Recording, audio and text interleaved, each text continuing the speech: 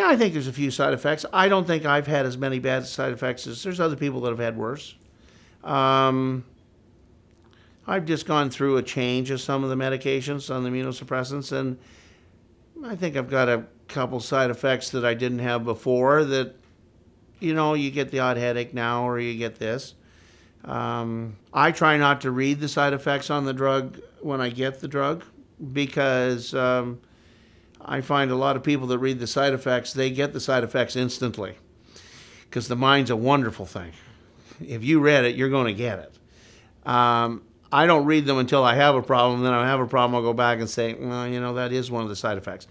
Um, one of the other side effects is, you know, skin cancer is a probably the number one on the immunosuppressants as a side effect.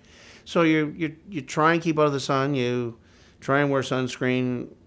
Sometimes, I mean, for my job, it makes it difficult. Um, so I wear a lot of sunscreen and hats, and that's been the one thing. The the side effect. Um, I find it. I there's some right now. I think that's causing a weight issue for me, and I'm working hard at it, but it doesn't seem to be